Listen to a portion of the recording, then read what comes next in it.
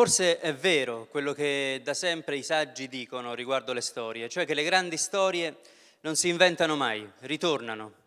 Quello che noi raccontiamo da tanti secoli, da quando i greci hanno cominciato a definire quello che noi siamo come europei, ma forse persino da prima, tutto ciò che noi narriamo in un certo senso potrebbe avere a che fare con una specie di inesauribile pozzo mitologico nel quale noi andiamo a pescare storie che sì, rinarriamo, riraccontiamo, ma che in realtà nella loro essenza sono da sempre esistite e da sempre esisteranno. E infatti, forse per questo motivo, allora quando anche nei nostri fenomeni pop contemporanei noi ci imbattiamo in alcune grandi storie, queste storie hanno quasi sempre una eco che ha a che fare con gli antichi miti, con gli antichi archetipi, cioè con quelle forme fisse della conoscenza, con quelle forme originarie, archetipos, che taluni pensano facciano parte della nostra psiche, della nostra anima, per così dire, e dunque sono delle forme universali che vengono evocate dalle storie, che non vengono create. Sicuramente una cosa del genere ha a che fare con l'idea che quando noi incontriamo fenomeni appunto come dei film, delle fiction, andiamo in cerca di quei significati più antichi che pure lì riverberano e che i, grandi classici avevano già raccontato. Ecco, è sicuramente questo il caso di a Star is Born, cioè questo film che è stato riproposto in realtà, a dire il vero, tante volte nel corso della storia del cinema, negli anni 30, negli anni 50, negli anni 70 e poi l'anno scorso, nel quale la trama parrebbe a principio qualcosa di, alquanto semplice una fanciulla, una ragazza che è sostanzialmente sconosciuta, incontra un artista che invece è all'apice del successo, il quale tuttavia, come molti artisti, sta facendo i conti con i propri fantasmi interiori e in questo corpo a corpo con il suo talento, in realtà lui riesce a forgiare lei come grande artista, donandole poi il sentiero del successo, ma mentre questo avviene nel loro amore, lui invece si spalanca la via verso quegli abissi interiori che si portava dentro. Questa storia, con tante variazioni, appunto ritorna negli anni 30, negli anni 50 e nelle storie più recenti, con eh, un accordo a quello che è lo Zeitgeist, se vogliamo, lo spirito del tempo dell'epoca. Ma più profondamente quello a cui assistiamo è uno sfasamento riguardo al tempo. Ecco perché credo che il tema così affascinante di Pop Sofia 2019 possa avere a che fare proprio con, questa, con questo archetipo qua. Con questo archetipo, vale a dire relativo al problema del tempo e dell'identità correlatamente, allora quando noi incontriamo questi concetti tempo-identità in una storia di ordine romantico. Per meglio dire, noi siamo affascinati da A Star is Born e forse il successo di, questo, di questa pellicola risiede proprio in questo, in quanto in questa storia riverbera l'antico significato dell'amore tragico. E questo è l'archetipo con il quale abbiamo a che fare. E la questione è che sempre l'amore tragico, per mostrarsi, deve avere a che fare con uno sfasamento di tempo, con un tempo che non riporta. È evidente questa cosa nella fiaba d'amore più celebre mai scritta, vale a dire Romeo e Giulietta, ovviamente. Anch'essa non è un'opera che inventa William Shakespeare, il quale, come sapete, non inventa nessuna storia, le riprende tutte dalla tradizione, non a caso. E quando Shakespeare deve però decidere il modo di narrare Romeo e Giulietta, sceglie di propendere per il registro della tragedia. Voi sapete che Will Shakespeare, chiunque egli o lei sia stato, aveva al suo arco numerose frecce da un punto di vista narrativo per poter narrare storie. Vi sono historical plays, drammi storici, vi sono comedies, come Molto rumore per nulla la bisbetica domata, e poi le grandi tragedie, Amleto, Re Lear e ovviamente il nostro Romeo e Giulietta. Ma la cosa che ci interessa qui adesso è il fatto che Shakespeare orchestri Romeo e Giulietta tutto attorno a un fraintendimento di ordine temporale.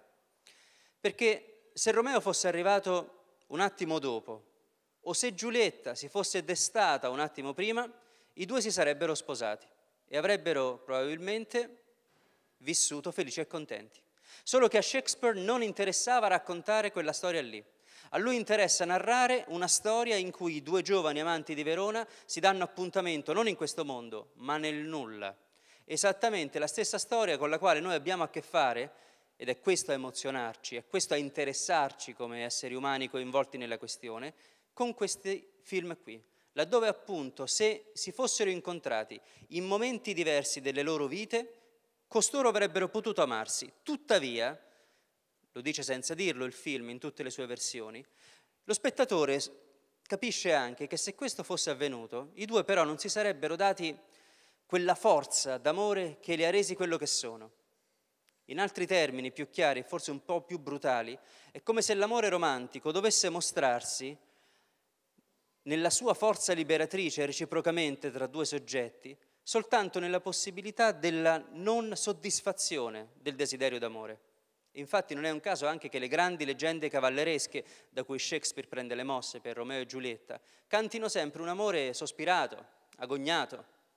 È una dama sempre pensata in maniera ultraterrena, quella delle leggende cavalleresche, ma mai vissuta veramente. E così accade qui. Romeo e Giulietta non possono incontrarsi perché si amano in un modo che non è di questo mondo e per conoscersi veramente per quello che sono devono darsi appuntamento in un mondo che non è questo. Nel film A Star is Born la cosa avviene in quanto la fanciulla da principio non sa ancora di essere una straordinaria attrice nelle prime versioni, cantante nelle seconde due, quella degli anni 70 e la nostra più recente, ma lei diventa esattamente ciò che è destinata ad essere in quanto una persona per prima la guarda in quel modo lì. All'inizio del film è una, soltanto una fanciulla che lavora in, un, in una maniera molto umile e che canta per diletto, la nostra protagonista. Diventerà se stessa attraverso la magia che rende tale un soggetto quando incontra una persona che lo vede in una maniera diversa. Vale anche però in maniera, in maniera negativa allora quando qualcuno ti guarda senza riconoscerti. Molta gente vive una vita di disperazione in quanto la, le persone, la persona che ha a fianco non è in grado di vedere nulla di più rispetto alla quotidianità e magari restringe lo sguardo senza riuscire a vedere quanto di profondo e di grandioso vi sia in qualcuno. Qui è esattamente l'opposto. Il protagonista, interpretato qui da Bradley Cooper, si innamora di Ellie, interpretata qui da Lady Gaga, in quanto lui scorge in lei qualcosa di ulteriore, di più grande. Ed è quella magia che scocca nell'istante in cui i due si innamorano. Però, e vedremo tra breve perché, non può andare a finire bene. Quasi tutte le storie potrebbero definirsi storie d'amore in questo senso, già che il termine che noi utilizziamo per definire i protagonisti di ogni storia è un termine eroe che ha a che fare etimologicamente proprio con il concetto d'amore. Eroe deriva da eros, per cui molte imprese eroiche hanno a che fare esattamente con la scoperta di questa identità più profonda relativa a quest'idea di amore.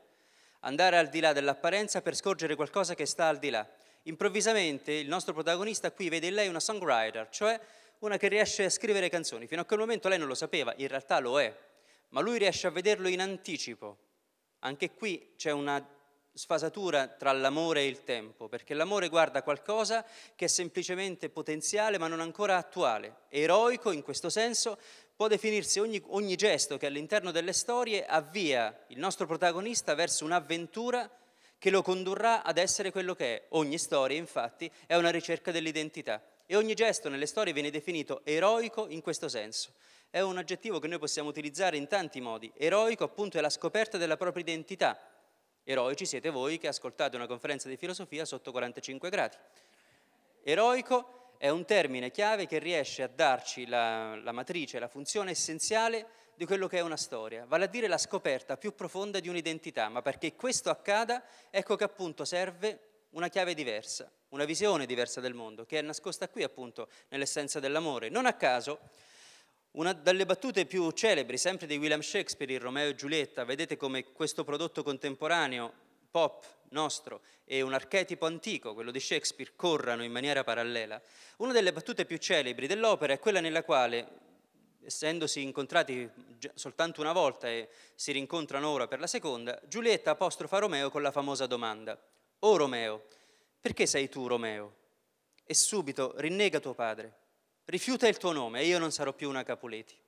Come a dire che, certo c'è un fatto contingente, come sapete non possono incontrarsi perché lui era il figlio della famiglia dei nemici, eccetera, ma a livello filosofico più profondo, e in Shakespeare c'è sempre questo significato, Romeo non può essere solo Romeo perché incontrando Giulietta c'è un'identità diversa. Tant'è che Shakespeare sente il bisogno all'inizio del dramma di farci sapere che Romeo è innamorato di una certa Rosalina, che nel dramma neanche vedremo mai. Ma poi, penultima scena del primo atto, lui incontra ad una festa lei, Giulietta, e tutto cambia.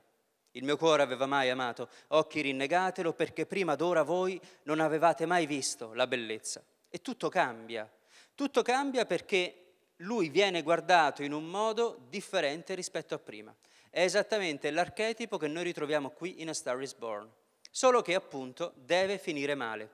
Deve finire male perché c'è uno scarto tra quel mondo che loro si creano, quel rapporto così intimo che nasce tra i nostri protagonisti e il resto della gente, e forse perché quel sentimento è vissuto a un livello di tale intensità che se portato a delle conseguenze normalizzanti non potrebbe essere esperito fino in fondo.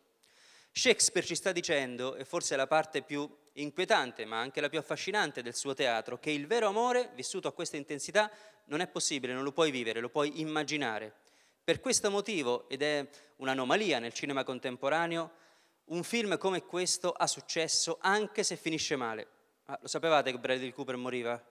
No, non voglio aver fatto uno spoiler, mi dispiace. Eh, mi dispiace. Però l'avevate intuito, se no non avrei preso Romeo e Giulietta, avrei preso un'altra cosa. Cioè, beh, muore, ormai lo sapete, mi dispiace. Ora, cioè.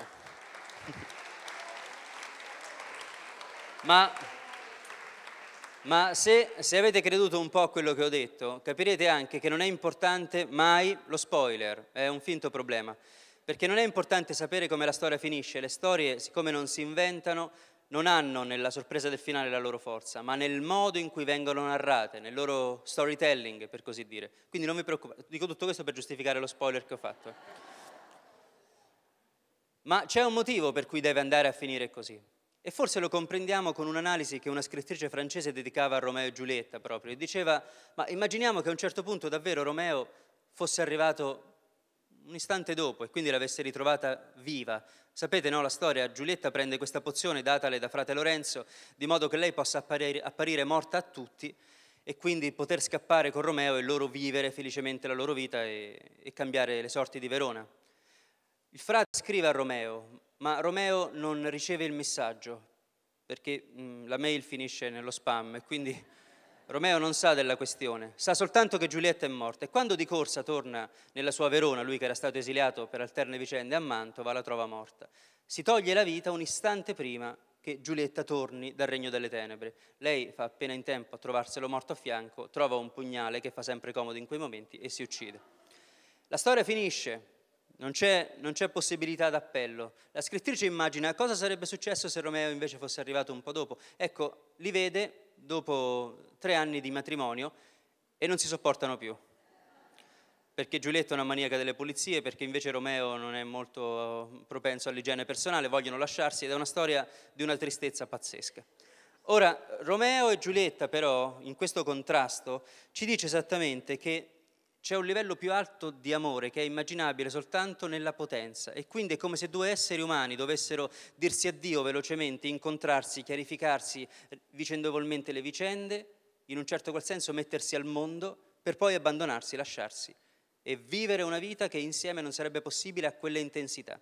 La stessa cosa era stata raccontata, forse in maniera ancora più radicale, in un altro film, la cui protagonista è una delle attrici che più amo, eh, Barbara Streisand, che nel musical rock degli anni 70 impersonava la medesima parte che qui fa Lady Gaga. Non si chiamava Ellie e non era italo-americana, era come Barbara Streisand, una donna di origini ebraiche di, di ebraiche di nome Esther, incontra un uomo che in quel caso è interpretato dal grande musicista country Chris Christopherson, e la storia è sostanzialmente la medesima, esattamente come Bradley Cooper, anche quell'attore, quel, quel cantante fa i conti con i suoi demoni, lotta con l'alcolismo, precipitandovi, non prima di aver mostrato però a lei la via per arrivare al successo.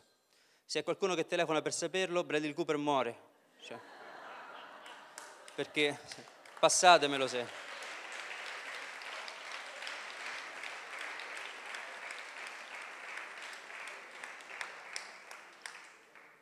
In maniera forse ancora più radicale, perché in maniera forse ancora più tosta, più tragica, nel musical degli anni 70 la Streisand, nel suo personaggio Esther Hoffman, vede precipitare appunto il suo uomo negli abissi senza, poterlo, senza poter fermarlo, esattamente come lui riesce ad innalzare lei invece verso la sua vera identità, laddove lei rimarrà sola. Ed è questo, parte, è questo che costituisce l'ultima parte del nostro incontro di oggi, cioè la solitudine. Che c'entra la solitudine con questa sfasatura del tempo?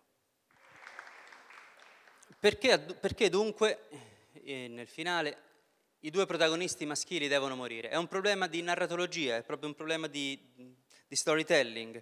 Ha a che fare con un senso che deve essere tenuto alla luce di una mancanza, alla luce di un addio.